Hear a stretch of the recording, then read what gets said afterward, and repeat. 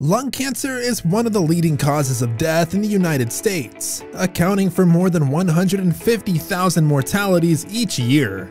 It's a disease that occurs in approximately 1 in 17 adults. Most lung cancer cases fail to show symptoms until the disease has spread to other parts of the body. However, some early warning signs can raise suspicion and prompt individuals to see a doctor for further testing which is the topic of this video because we're going to share the top 10 early warning signs of lung cancer that you must be aware of. Be sure to watch until the end because there's one that may surprise you. So if you're ready, let's get into it.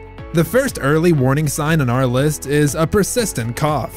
Now, of course, there are many different causes of coughing, However, if you have a cough that persists and just won't go away, it could be cause for concern. Studies have shown that a chronic cough is present in the majority of people with lung cancer. If you do have a chronic cough, this is not a reason to panic as it's not always an indication of the disease. However, you should consider seeing a doctor for further testing. This is especially true if you have a persistent cough that is accompanied by other symptoms on this list which leads us to the next early warning sign, and it is coughing up blood. Hemoptysis may occur in some cases of lung cancer, which is a term used to describe coughing up blood. This generally happens when there's bleeding in the lungs or airways. For example, if there's a tumor in your lungs that continues to expand, it may eventually rupture a blood vessel, leading to bleeding. While this sign can be alarming, it's important to remember that it's not always indicative of lung cancer. Hemoptysis may sometimes be caused by other conditions such as pneumonia, tuberculosis, lung infections, or a traumatic injury. You might even be coughing up blood because acid reflux has gradually eroded your lining, leading to this unwanted symptom. However, coughing up blood is a serious finding and should be investigated further, regardless of the cause. Number 3 on our list is night sweats. Do you often wake up drenched in sweat in the middle of the night? If so, it could be a sign of lung cancer, as this symptom is often associated with multiple types of cancer. Night sweats generally are defined as several hot flashes that occur during sleep. When your body tries to fight cancer, significant changes in hormone levels can trigger excessive sweating. While it's not unusual for someone to sweat if the room is a bit hot, there is a difference between that and sweating through your sheets at night. Therefore, if you regularly experience night sweats, you must see a doctor for further evaluation. Next up on our list is chest pain, which is another one of those more common warning signs of lung cancer. This symptom is especially worrisome if accompanied by dyspnea and shortness of breath. Studies have shown that approximately 40% of patients with lung cancer have chest pain at the time of diagnosis. However, not all types of lung cancer are associated with chest pain. If a tumor is present in the lungs, as it grows and expands, it can compress nearby structures, leading to chest pain and difficulty breathing. Additionally, if the tumor spreads to the bones or other organs, it can also cause pain in those areas. Of course, chest pain is a symptom associated with many other conditions such as heart disease, stress, and anxiety. However, if you experience this symptom regularly, you must see a doctor for further testing. The next early warning sign that we need to discuss is hoarseness. If you've noticed that your voice has become hoarse or raspy, it could be an early warning sign of lung cancer. Studies have shown that patients with small cell lung cancer often present with hoarseness. In general, hoarseness develops when the vocal cords do not vibrate as they should, creating an unusually breathy sound. Lung cancer is most likely not the cause of this finding. However, in rare cases, it may be a sign of a tumor pressing on the vocal cords. Therefore, if your voice has changed and you cannot attribute it to cold or other respiratory infection, it's important to seek medical help to determine the underlying cause. Another early warning sign that I should mention is loss of appetite.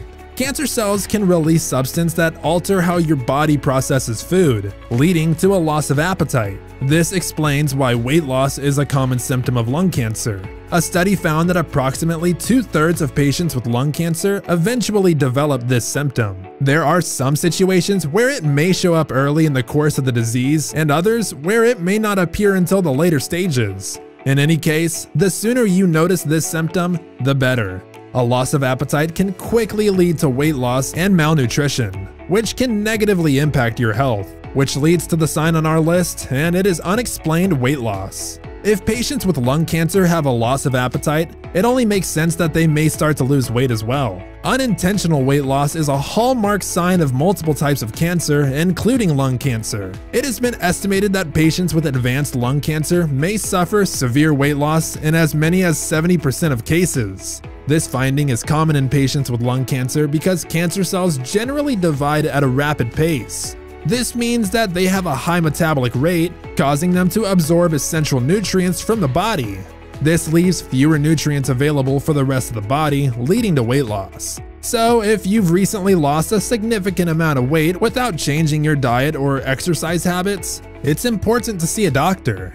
Next up is shortness of breath. As previously mentioned, dyspnea and shortness of breath are two of the most common symptoms of lung cancer.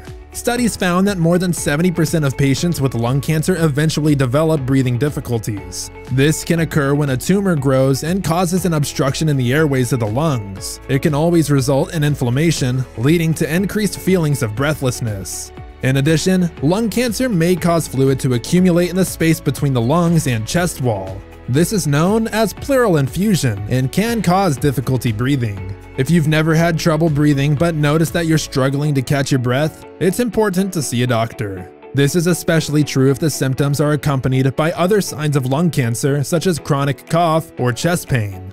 Another early warning sign that you must be aware of is chronic fatigue.